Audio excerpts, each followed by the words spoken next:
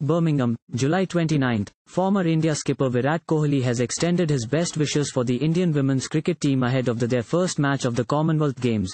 India will lock horns with reigning ICC Women's T20 World Cup champions Australia in Group A on Friday to kick off their Commonwealth Games journey.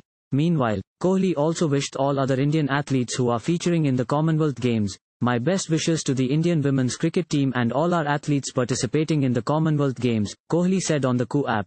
India skipper Harmanpreet Kaur is also excited about women's cricket being a part of games in Birmingham. As a cricketer, we always want to play more cricket and matches.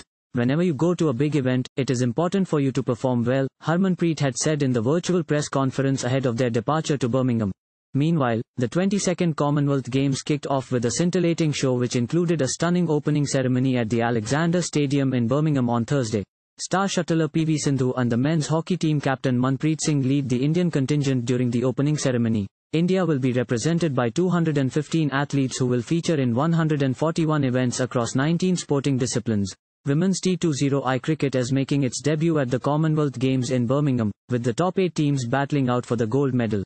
Thank you for watching. Please subscribe to channel and click on bell for more daily videos.